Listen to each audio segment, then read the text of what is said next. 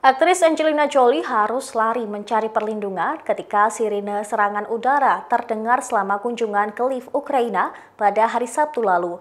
Jolie terlihat berjalan cepat melalui stasiun kereta api dan berlari menuruni tangga saat sirene meraung melintasi kota. Rekaman itu dibagikan secara luas di media sosial Ukraina. Video menunjukkan Jolie yang berpakaian santai dan rombongannya mengantarnya ke tempat yang aman. Melansir Insider pada Selasa 3 Mei, Angelina Jolie terlihat berjalan cepat melalui stasiun kereta api. Ia juga berlari menuruni tangga saat sirine terdengar di penjuru kota. Selama pelariannya untuk berlindung, aktris tersebut terlihat dalam video melambai ke arah penonton. Bahkan ia menyempatkan diri tersenyum untuk selfie dengan seorang penggemar. Salah seorang pria menanyakan kepadanya apakah dia takut namun Jolie dengan santai mengatakan dirinya tidak takut akan sirine serangan udara yang berbunyi itu. Kota Lviv di sebelah barat Ukraina dianggap lebih aman daripada tempat-tempat di timur negara itu.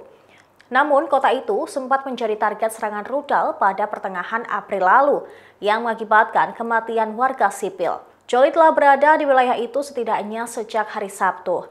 Orang dalam melaporkan bahwa ia mengejutkan penggemar dengan muncul di kedai kopi di kota Lviv. Kemudian pada hari Sabtu, NBC News melaporkan bahwa dia bertemu dengan anak-anak terlantar dan yatim piatu di Ukraina.